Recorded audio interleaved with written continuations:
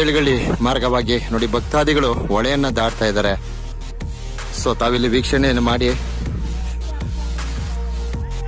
ಒಂದು ಹಗ್ಗವನ್ನ ಅಳವಡಿಸಲಾಗಿದೆ.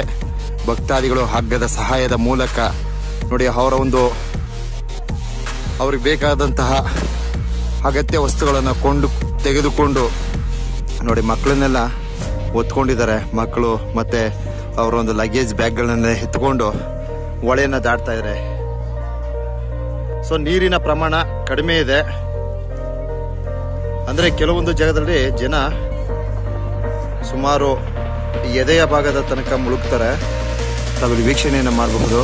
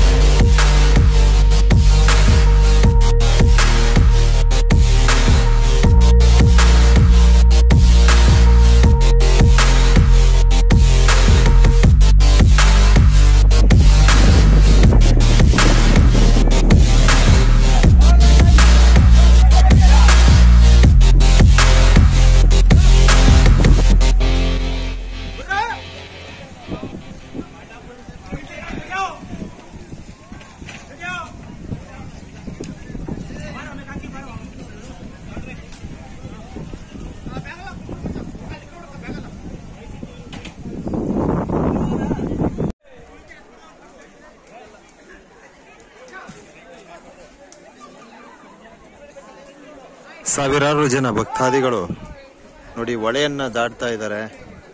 ಸೊ ಏಳುಗಳ್ಳಿ ಏಳುಗಳ್ಳಿ ಮೂಲಕ ಮಲೆ ಮಹದೇಶ್ವರ ಬೆಟ್ಟಕ್ಕೆ ಪಾದಯಾತ್ರೆಯನ್ನು ಮಾಡ್ತಕ್ಕಂಥ ಭಕ್ತಾದಿಗಳು ಹೊಳೆಯನ್ನ ದಾಟ್ತಾ ಇದ್ದಾರೆ.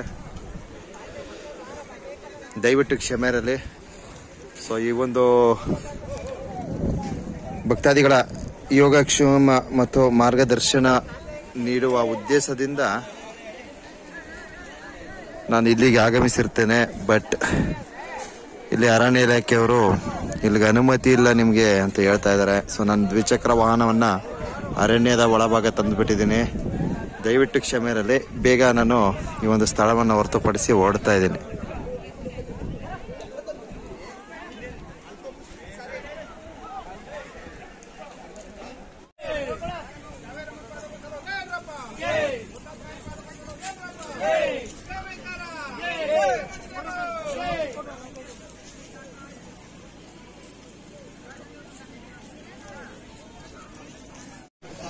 ಸಾವಿರಾರು ಜನ ಭಕ್ತಾದಿಗಳು ನೋಡಿ ಈ ಒಂದು ಹೊಳೆಯನ್ನ ಈ ಒಂದು ಹಗ್ಗದ ಸಹಾಯದ ಮೂಲಕ ದಾಟ್ಕೊಂಡು ಪಾದಯಾತ್ರೆ ಮೂಲಕ ಮಲೆ ಮಹದೇಶ್ವರ ಬೆಟ್ಟಕ್ಕೆ ಹೊರಡ್ತಾರೆ.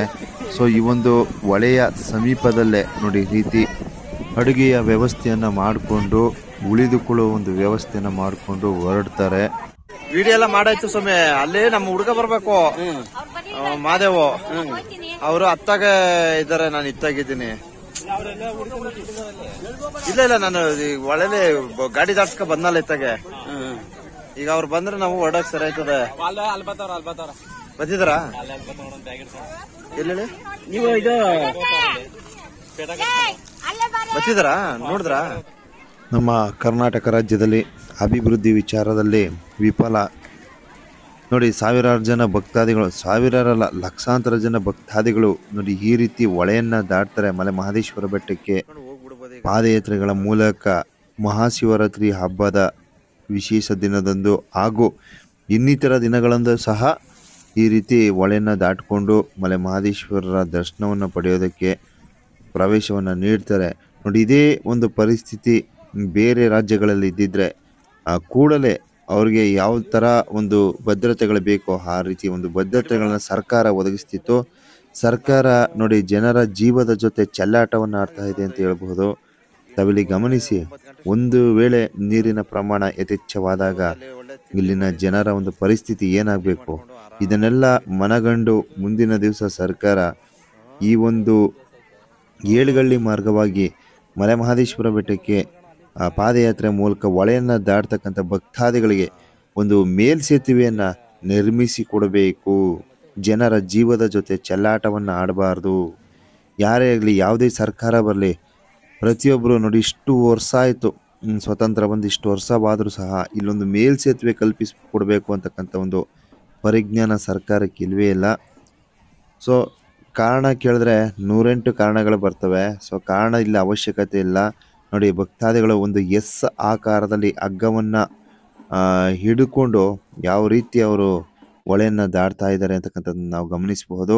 ಈ ಒಂದು ಏಳುಗಳ್ಳಿ ಮಾರ್ಗವಾಗಿ ಭಕ್ತಾದಿಗಳು ಆ ಹೊಳೆಯನ್ನು ದಾಟಿಕೊಂಡು ಅವರು ಈ ಒಂದು ದಟ್ಟ ಅರಣ್ಯ ಪ್ರದೇಶದ ಒಳಭಾಗ ಪ್ರವೇಶವನ್ನು ನೀಡಿ ಅವರು ಸಾಗ್ಯದ ಮಾರ್ಗವಾಗಿ ಮಲೆ ಮಹದೇಶ್ವರ ಬೆಟ್ಟಕ್ಕೆ ಪ್ರವೇಶವನ್ನು ನೀಡ್ತಾರೆ. ನೋಡಿ, ಸಾಗ್ಯ, ಸಾಗ್ಯದ ಎಂಟ್ರೆನ್ಸ್ ಅಂದ್ರೆ ಒಳ ಪ್ರವೇಶವನ್ನು ಮಾಡಬೇಕಾದ್ರೆ ಎಂಟ್ರೆನ್ಸ್ ಗೇಟ್ ಇದಾಗಿರ್ತದೆ.